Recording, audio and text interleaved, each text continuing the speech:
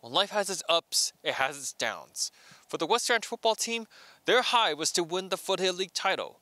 Their low came quickly when their quest for a CIF championship came to an end on Friday night against Upland in overtime, 28 to 21. The Wildcats took control of the first half of the game.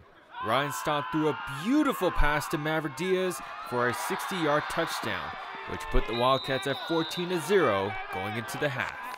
After the half, Upland came together to put some points on the board. Upland's Ricky Allen ran for a 5-yard rushing touchdown, putting them up 21 14. In the fourth, in under a minute, Staub throws a 3-yard passing touchdown to even the score with Upland to go into overtime. Upland soon scored with a pileup in the end zone, putting them up 28 to 21. Staub took the first throw for West Ranch in overtime, but it landed in the hands of Upland's Tristan Castero, thus concluding the Wildcats' dominating season. I mean, they uh, they're they're a true family. Um, you know, they uh, many of them could have gone to different schools and uh, they decided to stick with me, and, and I'm forever grateful that uh, they did that. We had a heck of a season, got the Foothill League title. Um, obviously, wanted a little bit more, but uh, you know, it's uh, someone's got to win, someone's got to lose.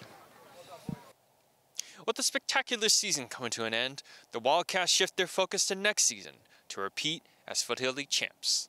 For Canyons News, I'm Kyle Kawamoto.